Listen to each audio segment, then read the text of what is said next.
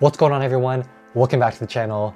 Today I got a super awesome video for you guys because today we're talking all about the Red Komodo 6K. And I really love this camera because lately I've been doing a ton of shoots lately. I've been doing a lot of spec ads, really cool video portraits with this camera and lately I've just been really trying to push this camera to the test and really understand it to the best of my ability. And I feel like these past few months I've really accomplished that. I've done a ton of shoots with this. I've done a lot of color grading, editing, and I feel like I'm really finally starting to understand the power of the Red Komodo and why it's different to cameras like the a7S III, the FX3, and any of those Sony cameras, mirrorless cameras. And basically this video is dedicated to why I love the Red Komodo and why I think as a cinematographer, it's really important to buy a true cinema camera instead of continuing to shoot with just regular mirrorless bodies like the a7 III, FX3, Canons, all that stuff. So if you're into that content, stay tuned for this video because we're gonna go over all the really awesome features of this camera and why I really think this is a great investment even in 2023. So without further ado, let's get into it. All right guys, so first, we're gonna go over some of the features of the Red Komodo that make it a really fun camera to shoot with and also work with in post. So firstly, we're gonna talk about shutter angle. And I think shutter angle is really important because shutter angle is only offered on true cinema cameras. Even on cameras like the FX3 or Sony a7S III, which are supposed to be mainly video cameras, they don't have this feature. And I think this feature is extremely important because when you're doing run and gun shoots, documentary shoots, any kind of shoots like that, you're always gonna be switching frame rates from usually 24 frames to 60 frames, and you don't have to worry about always changing your shutter speed. So on the Komodo, you're able to select 180 degrees shutter, and basically what that means is the camera is always going to automatically double your frame rate in the shutter speed. So for example, if I'm shooting at 24 frames, it's gonna automatically set my shutter speed to 1 over 50. And also if I'm shooting at 60 frames, it's automatically gonna double that and make it into 100 over 120 basically. And that's really important because when you're on these types of fast shoots, you don't always have time and you don't always have the attention to always be switching your shutter speed and because there's so many things to think about when you're on set. So I think that's really helpful. All right guys, so another reason why I really enjoy shooting on the Red Komodo 6K is because basically it's a manual focus camera. Although it does offer autofocus, which is still in beta, it is not really that trustworthy and it only really works with the native Canon lenses. And I really enjoy shooting on the Sigma 18-35 and the autofocus does not work on that lens. So I really enjoy shooting manual focus because it really requires you to be locked in. When you're operating and pulling your own focus, it's just a new kind of fun that you can't really describe unless you try it because honestly, the past few years, I've been shooting on the a7 III and the 6600, which have amazing autofocus. And although those are great for YouTube, weddings, and that kind of stuff, this past few months, I really want to step up my cinematography and I really want to take advantage of the 6K. And by pulling my own manual focus, it's just a lot more fun, you know, like when you're on set and when you're shooting, like you kind of get into this zone that you can't really describe compared to autofocus. Like you really are locked in, you are really kind of immersed into your shot and you really do have to stay sharp because if you don't, the shot's basically gonna be ruined. But I think it is really fun because it teaches you a lot about f-stops as well. Like when you're shooting on Sony, it really doesn't matter what f-stop you're shooting because the autofocus is so good. But when you're shooting on something like this, and you're shooting at 1.8, you really do have to keep in mind like how much your subject is moving, um, whether they're moving back and forth or how much bokeh you want. And it's just really cool because it feels like you're really in control when you're shooting manual focus. So for that reason, I really enjoy shooting on the Red Komodo 6K. Next, we're gonna talk about the global shutter. And I know a ton of people talk about this already on YouTube, but I really think it's awesome because I fly this camera a lot on my RS2 and I think it's really awesome. And a lot of people say like, oh yeah, don't get the Red Komodo, there's no image stabilization. And a lot of noobs and a lot of green people on YouTube they're always like, oh yeah, Sony's better because it has active stabilization, blah, blah, blah. But honestly, when you think about it, most true cinema cameras don't have IBIS. They don't have inbuilt stabilization. But honestly, with the Red Komodo and the global shutter, I really like the movement you get on this camera. So like I said earlier, I mostly fly on the RS2 and I always really like the results. I mean, the footage is always extremely super smooth. And lately, I've been doing a ton of handheld footage and I really like the way this footage looks, like 4K 60, slowed down, uh, just handheld because I don't know, it's really hard to describe, but with the global shutter, when you're kind of panning around and you get this really nice natural feel to it, it feels really cinematic. It doesn't feel too shaky It's like a really nice stabilized handheld feeling. So I really like that about the Red Komodo and no other cinema cameras for this price point really offers that feature on the market. So for that reason, I really like the Red Komodo as well. All right, next, we're gonna talk about the monitoring solutions you need for the Red Komodo 6K. So as you can see, it has this tiny screen right here, and although it's comparable to the size of Sony cameras, it's really important that you get an external monitor when you're shooting with this camera.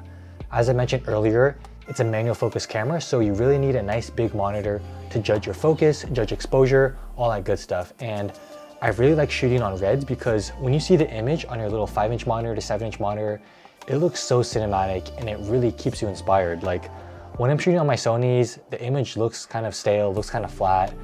And a lot of the times I kind of lose inspiration shooting on Sony. And that's the main reason why I upgraded to red because when you're shooting with this, the colors look just so great on the monitor.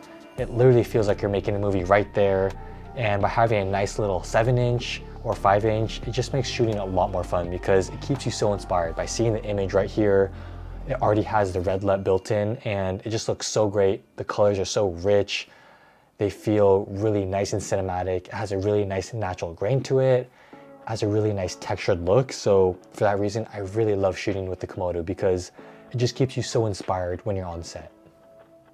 All right, next, let's talk about media for the Red Komodo 6K. As you can see, it has one little slot here for one CFast. And right here is the Angelbird one terabyte CFast.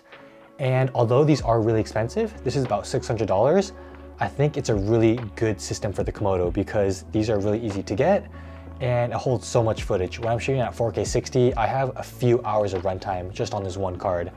And all you need is just a nice little CFast reader. These aren't too expensive and it's USB-C, super easy to use. And I know a lot of people are really intimidated by the file sizes of the Komodo and yes, that is true. Like when I come back from a shoot and I offload my footage, oftentimes it's about like over 100 gigs. It's, you know, it's a lot of footage, but I think it's really important to get kind of like a RAID system. So right here I have the ThunderBay 8 and this thing is about 13 terabytes. And if you're a cinematographer and editor, you already know how important storage is because I mean, you don't want to be just keep dumping stuff on your desktop.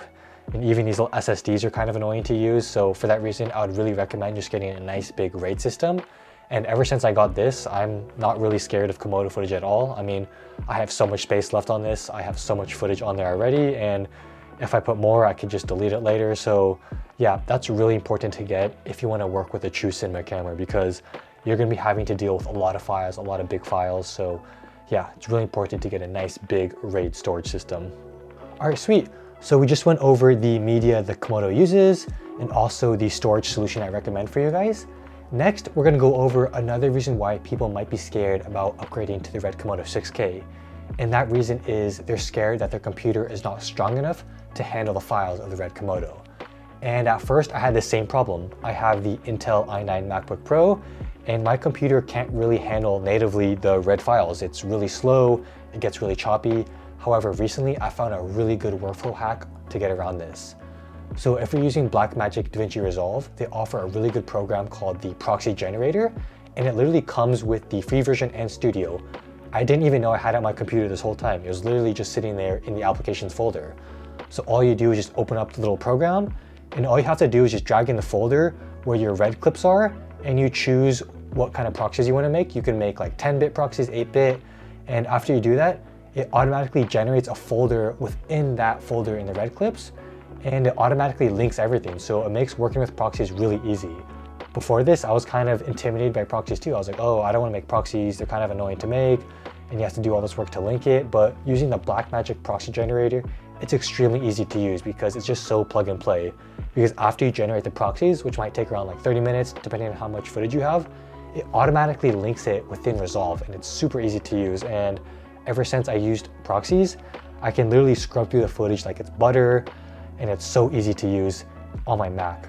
The only downside is when you're working with proxies is the quality gets a little bit worse. However, you can literally just turn off proxies to do some color grading and then turn it back on when you want to edit more. So, so I would highly recommend working with proxy files if you're worried that your computer is not strong enough to handle the red files because lately I've been working with a lot of red footage and the proxies have literally saved my life and it makes editing so much more fun, so much easier. So I would highly recommend working with the Blackmagic proxy generator. All right, next, we're gonna talk about the different codecs that the Red Komodo 6K offers.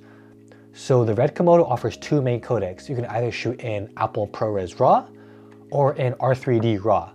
And me personally, I would highly recommend shooting in Red RAW because shooting in Red RAW, it offers you so much flexibility in post to work with. For example, if you feel like your shot is a little bit too hot, a little bit too overexposed, you're able to change that in post and you can really change your image so much. And I think that's what makes this camera so awesome. All right, so now that we've gone over all the technical stuff about the Red Komodo, next we're gonna talk about the image out of it. I mean, I feel like that's the main feature of a cinema camera that we should talk about. And I think the Red Komodo has the best image out of any camera I shot on. I think it has a really nice textured look to it because I've shot so much on Sony's and I feel like Sony's feel really flat. Like there's not too much character to it. It just feels really sharp. It feels kind of clinical. However, the Komodo, it really does have a textured cinematic look. I recently did a shot at the San Francisco Conservatory of Flowers, which is a really cool like tropical greenhouse and there's so many cool plants in there. And after looking at the footage, I think it just looks so awesome. Like I feel like the greens are really deep, the colors are a lot more rich and has this really cool like textured look to it. It's kind of hard to describe. You're gonna have to look at the footage, but compared to my Sony, it's literally like night and day. Like the Komodo just has really nice green tones and like it has a really nice film grain to it as well. And it's just a really truly cinematic look to it, honestly. And another thing I really like about it is the highlight roll off.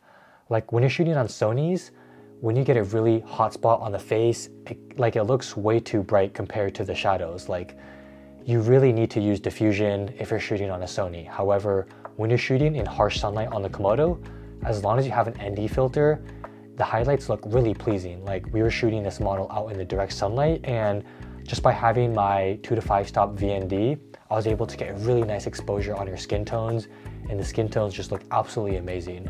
For that reason, if you're doing a lot of like beauty shots, um, filming a lot of people, I think this is a really good camera to get because you don't even need diffusion. You don't really need someone to hold the balance.